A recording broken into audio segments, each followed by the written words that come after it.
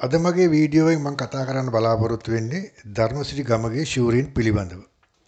ඇත්තටම ධර්මසිරි ගමගේ ශූරීන් පිළිබඳව මේ කෙටි වීඩියෝකින් කතා කරලා අවසන් කරන්න බෑ.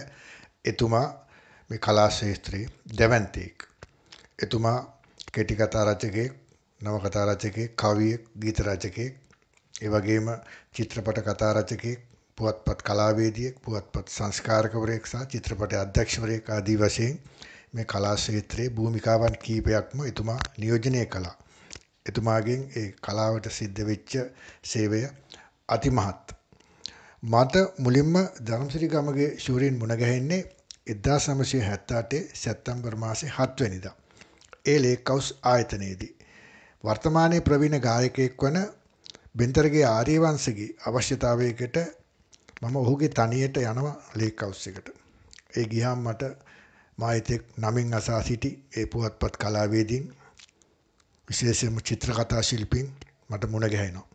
මම ඔවුන් එක්ක කතා බහ කරනවා. මගේ සමරු පොතේ ඔවුන් සටහන් තබනවා. ඔවුන් චිත්‍ර අඳිනවා. ওই විදිහට මට ධර්මසිරි ගමගේ ශූරින්වත් මුණ ගැහුණා. එතුමන් සමග කතා බහ කළාම එතුමාත් මගේ සමරු පොතේ සටහනක් තිබ්බා. එතුමාගේ අකුරෙන්ම එතුමා ලිව්වේ මොකද්ද? ලෝකේ ජීවත් වන්නට ලස්සන ඕනෑ වේ කියන වගන්තිය. අදටත් මා ළඟ ඒ සමරු පොත තවම තියෙනවා. මේ දවසත් විශේෂ දවසක්. අපි ඒක දැනගෙන ගියා නෙමෙයි. අපි ගියේ ගාලු පාරේ ගාලු මෝදර ඔස්සේ පැරණි පාර්ලිමේන්තුව ළඟින් ඒ යනකොට විශේෂ පොලිස් ආරක්ෂාවක් එදා කොළඹ නගරයේ තිබුණා. එතකොට මේ ත්‍රස්තවාදී ප්‍රශ්න නැහැ. ඒකට හේතුව තමයි ওই 1978 අලුත් ආණ්ඩුක්‍රම ව්‍යවස්ථාව පාර්ලිමේන්තුවේ සම්මත කරගන්න දවස. ඒ නිසා අපිට ඒ දවස අමතක වෙන්නේ නැහැ. ධර්මසිරි ගමගේ විවිධ භූමිකාවන් කළාට මගේ මේ channel එක විශේෂයෙන්ම ගීතය සහ සංගීතය පිළිබඳව කතා කරන නාලිකාවක් නිසා එතුමාගේ ගීත කීපයක් පිළිබඳව කතා කරලා ඔබට ඒ ගැන මතක් කර දීමට තමයි මම අදහස් කරන්නේ. ඒ නිසා එතුමා ලියපු ඒ ගීත 100 ගණනක් තියෙනවා. ඒ සෑම ගීතයක්ම ශ්‍රාවක විචාරක ප්‍රතිචාර ඉහළින්ම ලැබුණු ඉතාමත්ම අර්ථවත් ගීත චිත්‍රපටය සරල ගීතය ඒ වගේම කැසට් පටය මේ හැම අංශයකටම එතුමා ගීත රචනා කළා. අපි එතුමාගේ ඒ විදිහේ ගීත කීපයක් ගැන දැන් විමසා බලමු. පළමුවෙනි ගීතය තමයි සනස්ම කොතන චිත්‍රපටයට මම තෝරාගෙන තියෙන්නේ සුලං කුරුල්ලෝ කියන ගීතය. මේ ගීතය ගායනා කළේ ඇන්ජලින් ගුණතිලක සමග හරුන් ලන්ත්‍රා සංගීතවත් කළේ ප්‍රේමසිරි කේමදාස. ඊළඟට රෑනගිරා ජෝඩුවයි. මේක රෑනගිරාව චිත්‍රපටයේ ගායනා කළේ පණ්ඩිත අමරදේවයන් සමග විශාරද නන්දා මාල්නි මේක සංගීතවත් කළේ ප්‍රේමසිරි කේමදාස. ඊළඟට ඊ타මත්ම ජනප්‍රිය ගීතය ඔබට මතක ඇති. ආදර මල්පාවනි දුලිකා චිත්‍රපටයේ මේ ගීතය ගායනා කළේ එච්.ආර්. ජෝතිපාල. මේ ගීතයත් සංගීතවත් කළේ ප්‍රේමසිරි කේමදාස. තවත් විශේෂ ගීතයක් තියෙනවා. බොහොම සංවේදී ගීතයක්. කුඩාගමේ මද්දහනේ අවුරස්නේ නිවා. මේ ගීතය හුලවාලි චිත්‍රපටයට තමයි එතුමා රචනා කළේ සංගීතවත් කළේ වික්ටර් රත්නායක ගායනා කළේ සුනිල් එදිරිසිංහ. මේ ගීතයෙන් එතුමා අපේ සාහිත්‍ය ශාස්ත්‍රයට අලුත් වචනයක් එකතු කළා අලුත් යෙදුමක් ඒ කියන්නේ ප්‍රේමයට අලුත් නිර්වචනයක්. ඒ තමයි ආල වඩන යන තේරුම බෝසත්කම සකී කියන එක. ඊළඟට වසන්තයේ දවසක් චිත්‍රපටයට එතුමා රචනා කළා සඳපෙම් යහනින් පායාවි කියන ගීතය. මේ ගීතය ගායනා කළේ ලතා වල්පොල සමග මහාචාර්ය සනත් නන්දසිරි මේකත් සංගීතවත් කළේ ප්‍රේමසිරි කේමදාස. අර මගේ සමරු පොතේ ලියපු ගීතය ලෝකේ ජීවත් වන්න ලස්සනව නෑවේ මේකත් චිත්‍රපට ගීතයක්. 70 ගණන් වල ඉතිරගත වුණු ජනක සහ මංජු චිත්‍රපටයට තමයි මේ ගීතය තුමන් ලිව්වේ. මේ ගීතය ගායනා කළේ ලතා වල්පොල සහ ක්ලරන්ස් විජේවර්ධන.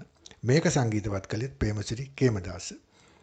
රිදී කුමාරී සීතල ඇල්ලයි මේමුළු ගම්මානේ. ඔබට මතක ඇති මේ චිත්‍රපට ගීතය. කවුද හරි තමයි චිත්‍රපටයේ නම. ඉන්ද්‍රානි සේනාරත්න සහ සිසිර සේනාරත්න මේ ගීතය ගායනා කළා. සංගීතවත් කළේ සිසිර සේනාරත්න. රන් පොකුණෙන් දිය නාගෙන ඉන්නේ මල් මැද විසවුනි කොයිබද යන්නේ. බිනරමලී චිත්‍රපටයේට ජේ මිල්ටන් පෙරේරා ඇතුළු පිරිස තමයි මේ ගීතය ගායනා කළේ. ධර්මසිරි ගමගේගේ මේ වචන පෙළ සංගීතවත් කළේ සෝමදාස ඇල්විටිගල. රන් කෙන්දෙන් රනින් සෙදු රංගොන්චිල්ලා මේ රංගොන් ජිල්ලා චිත්‍රපටයට තමයි මේ ගීතය ඇන්ජලින් ගුණතිලක සහ මල්ලිකා කහවිට තමයි ගායනා කළේ. මේ ගීතය සංගීතවත් කළේ ප්‍රේමසිරි කේමදාස. ඔබට මතක ඇති ආශා දැසින් චිත්‍රපටය. මිල්ටන් මාලවරච්චි සරලගී ගායකයෙක් හැටියට ඉඳලා මං හිතන්නේ ඔහු චිත්‍රපට ගීත ගායකයෙක් හැටියට ශේස්ත්‍රයේ ඒ මුල් කාලේ ඔහුගේ ගමන් ආරම්භ කරපු කාලේ ඔහු ජනප්‍රියත්වයට පත් කරපු ගීතයක් තමයි මුව මදහාසේ ශීපදරාවේ. ධර්මසිරි ගමගේ ලියපු මේ ගීතය සංගීතවත් කළේ සරත් දසනායක. ඊළඟට තවත් ගීතයක් තියෙනවා සිසිර සේනාරත්නම සංගීතවත් කරමින් ගායනා කළ මාගේ පුතුට මල් යහන සදන්නේ එය පුංචි බබා චිත්‍රපටි. ඔබට කවදාකවත් අමතක නොවෙන ওই විනෝද ගමන් යනකොට ওই විනෝද සාදවලදී කවුරුත් ගායනා කරන ගීතයක් තමයි මම ගන්නෙමි කරකාර බන්දාලා. හිත හොඳ මිනිහෙක් චිත්‍රපටයේ එන මේ ගීතය හින්දි මම දෙවිඩ තනුවකට තමයි මේ ගීතය රචනා කළේ. මේ ගීතය ගායනා කළෙත් එච්.ආර්. ජෝතිපාල. තවත් සුවිශේෂී ගීතයක් තියෙනවා බනින්න එපා පොඩි දෝනිට. මේ ගීතය විට රත්නායක තමයි ගායනා කළේ සංගීතවත් කළේ රෝහණ වීරසිංහ. පුංචි පුතා මගේ ඉස්කෝලේ ගිය මුල්ම දවස අද වේ. ඉතා වැදගත් ගීතයක්. සුවිශේෂී ගීතයක්. මේක ඇන්ජලින් ගුණතිලක තමයි ගායනා කළේ සංගීතවත් කළේ ක්ලරන්ස් විජේවර්ධන.